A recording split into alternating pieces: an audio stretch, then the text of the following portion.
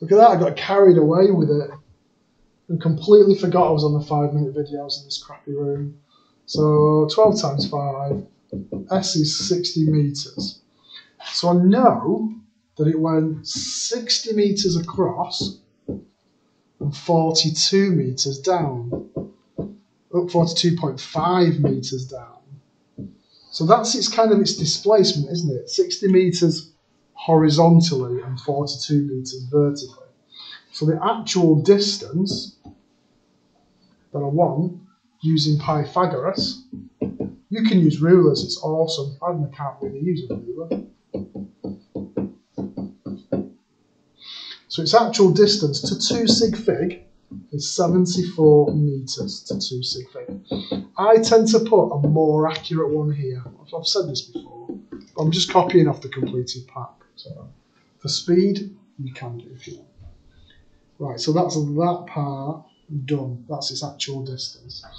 Part C says, where we see is find the speed and direction when it hits the ground. So I can't use the symmetry now, but I do know how far it's travelled, and I do know the flight time, and I do know u. So I've got plenty of information to work. So let's have a look then. So vertically,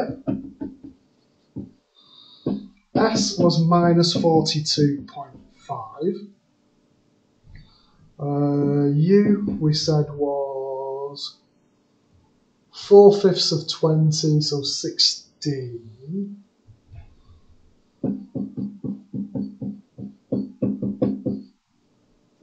V is what I want. A is minus 9.8. And T was, what was our flight time? Was it five seconds? I think it was, wasn't it? Oh, can't see, it's all the way up here. Five seconds. There. So I want something, I've got all the information, I just choose the easiest one I want. Because I've got loads of information there. And the easiest one is V equals U plus AT.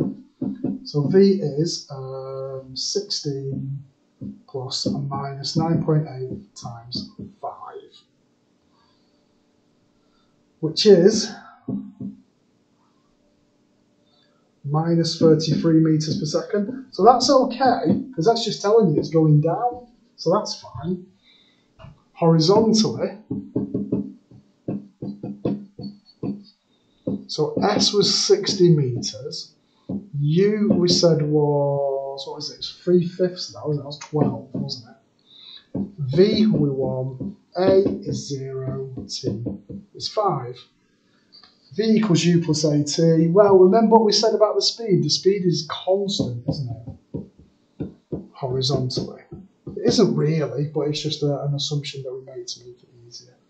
So V is 12. So I want the speed in the direction, don't I? Yeah. So let's do, we'll put it aside here. Let's make a triangle then. So speed triangle velocity triangle, really, isn't it? Don't tell physics. So 12 across, 33 down. So the actual speed, I'm just going to pause it again. I'm going to do Pythagoras, and then I'm going to do the angle. I'll use theta for the angle, okay? So, hang on. Oop, oh, messing it up there. So I got, using Pythagoras, I got a speed of 35 to 2 sig fig.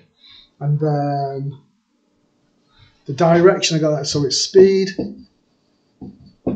35 meters per second at 70 degrees below the horizontal. And I think that's all it wants, this question. They're not that bad, these. There, that's done. There's a question for you on the other side. What I'll do is I'll pause it because I'm running out of time and I'll just reveal everything. Right then, so just looking at this. Oops, move that. There. There we go. All right, well done everybody.